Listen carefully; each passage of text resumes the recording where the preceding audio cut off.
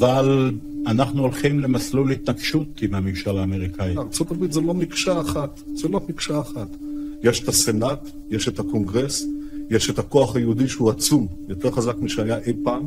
יש דעת קהל, יש לנו כוחות כבירים בדעת הקהל שמתנגדים למדיניות הזאת, גדולי הפרשנים. אמריקה אה, לא תכפה עלינו דבר אם לא...